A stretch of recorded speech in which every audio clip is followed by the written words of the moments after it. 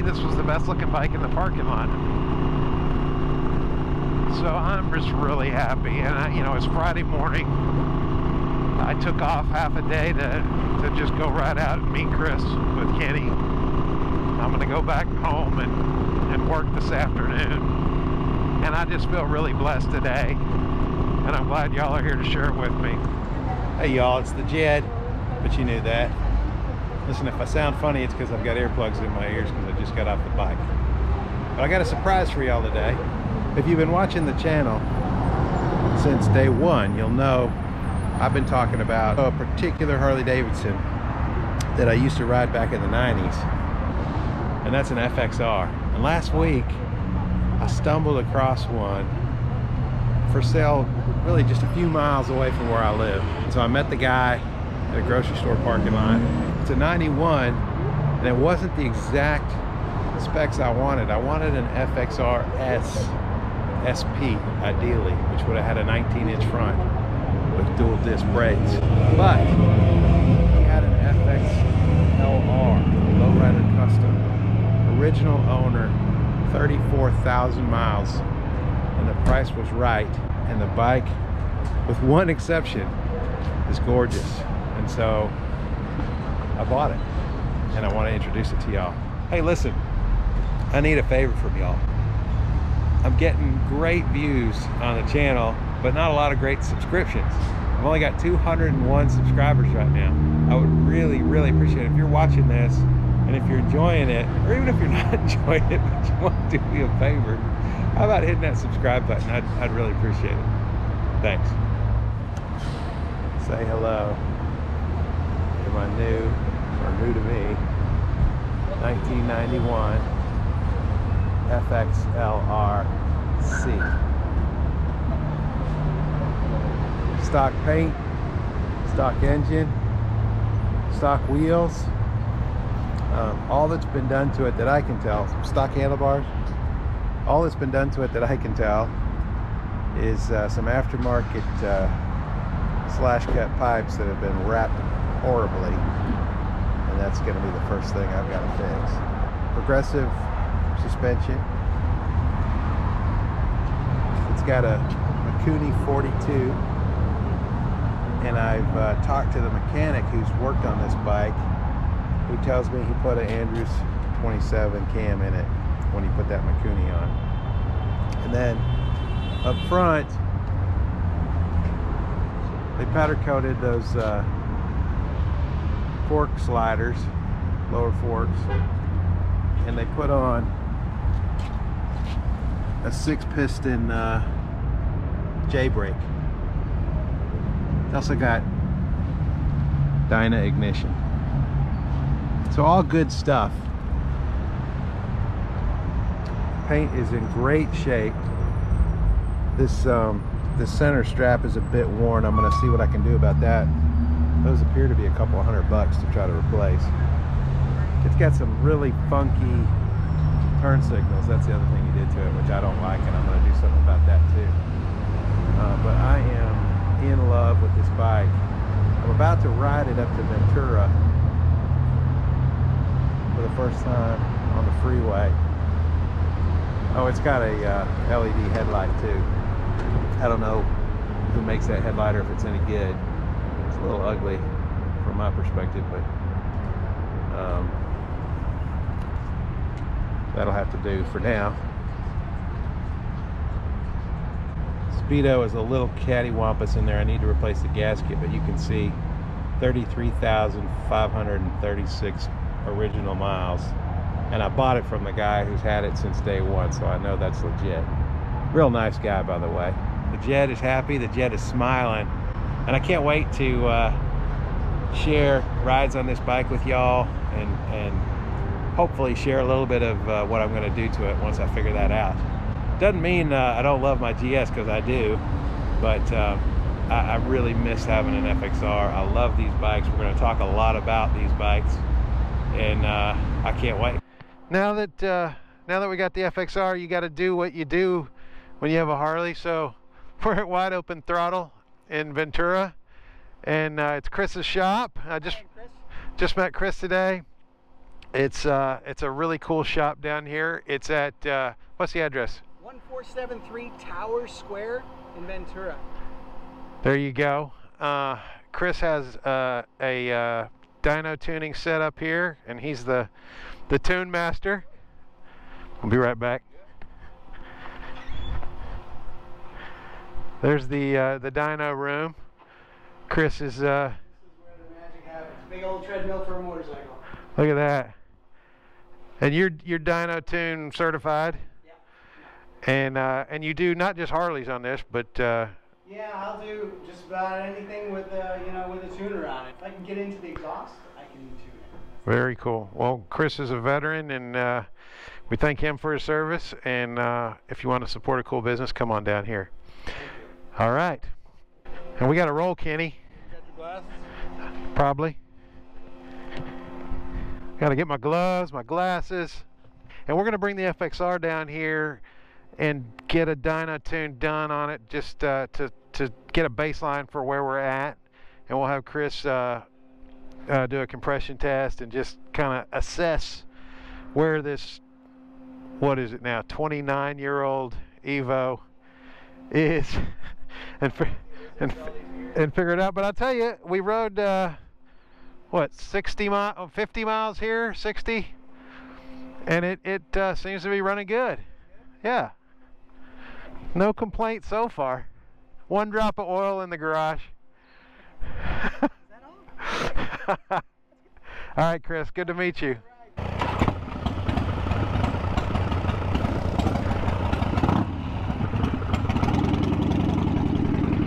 So first vlog from the FXR. We'll let Kenny get past us because I don't really know where we're going here.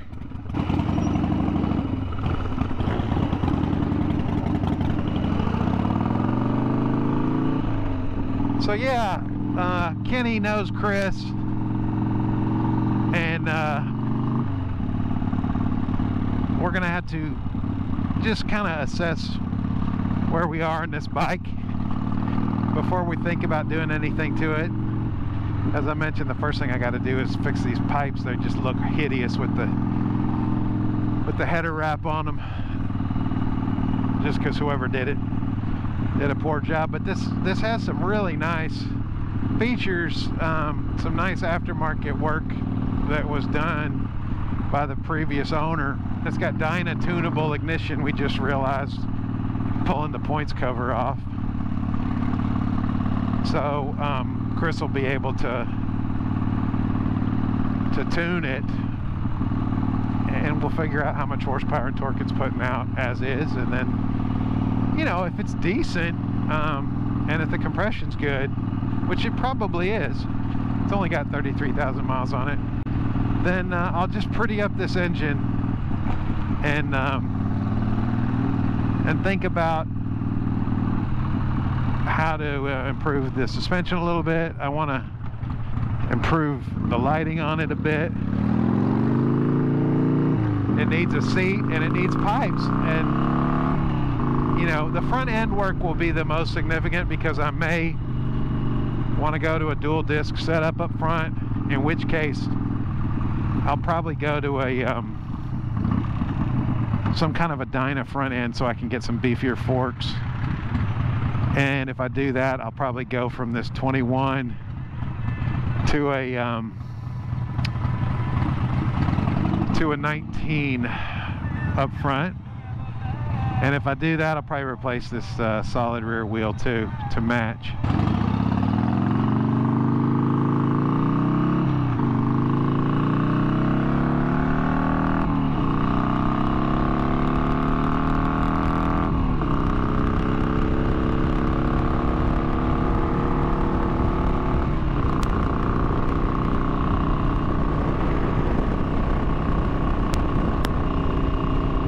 The thing I don't like about the front end on this is uh, it's it's got this kind of skinny 21 inch tire and it, it just tracks all the grooves in the road and I, I don't like the way that feels.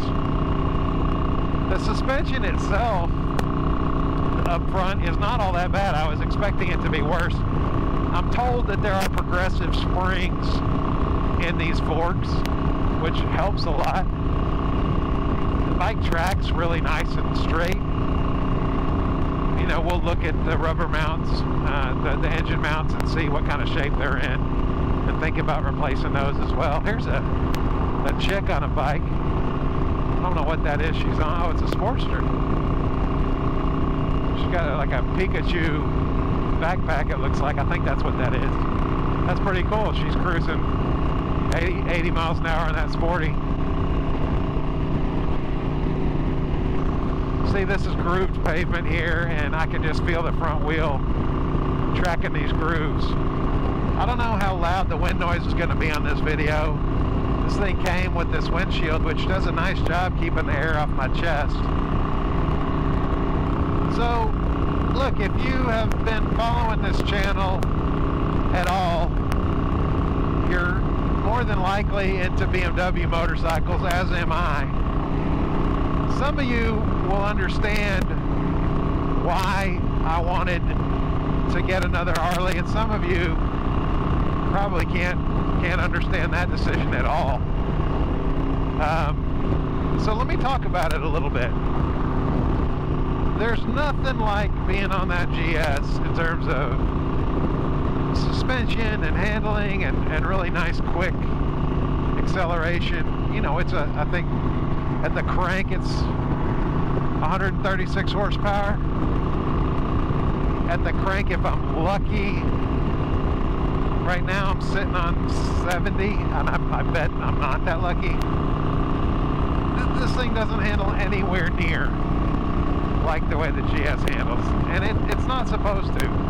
But what it does do is give an incredibly good feeling. Seat of the pants, torque, engine sound, comfort. And by comfort I mean I'm just out here in the wind, hanging out, sitting low. These are mid controls, they're not even forward controls, but my legs are comfortable. It's easy on, easy off. I'm wearing, you know, these are riding jeans with Dyneema in them with a good degree of protection, but I'm wearing jeans and a leather jacket. Because I am me, I've got a level 2 back protector on under this jacket, but still, it just, it's a viscerally pleasing way to ride a motorcycle. And if you're gonna ride a Harley, an Evo is about as simple and reliable as it gets. A rubber mounted Evo is about as comfortable as it gets and an FXR frame is about as uh, good a handling as it gets. And so you put all that together in this package and what's not to love?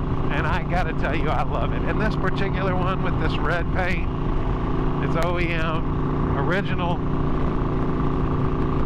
looks great in the sun when we were at Chris's shop, to me this was the best looking bike in the parking lot.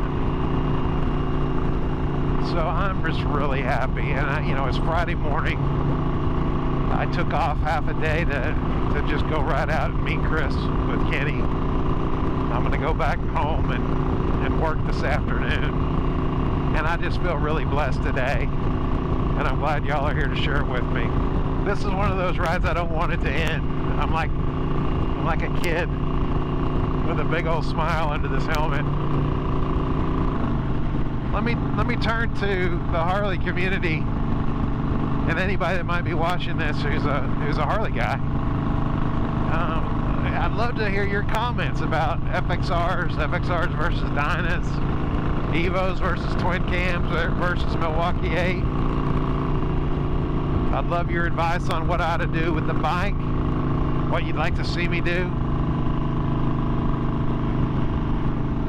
I've been out of the game a long time. I've got some ideas, and I'll, I'll, you know, just to to kind of level set. I'm not going to be wheeling this thing. I'm not going to be drag racing it. I'm not going to be racing it at all. But I do want it to perform. I want it to handle. I would say my number one priority is to make sure it's engine's reliable, and the bike handles. next is going to be probably budget. Next will be appearance. Probably in, that, in those orders of, of priority.